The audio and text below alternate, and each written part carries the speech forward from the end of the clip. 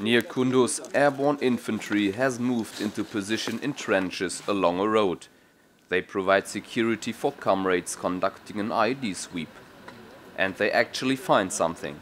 An anti-tank mine buried in the road. Explosive experts of the Bundeswehr prepare demolition of the mine. Our cameraman just titled his camera in direction of the mine in order to film the demolition.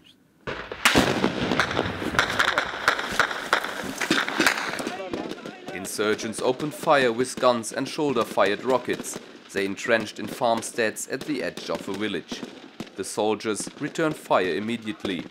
Several insurgents are killed in the firefight. A German parachuter is slightly wounded. At the end of the firefight, the soldiers move away from battlefield under mutual covering fire and continue task execution.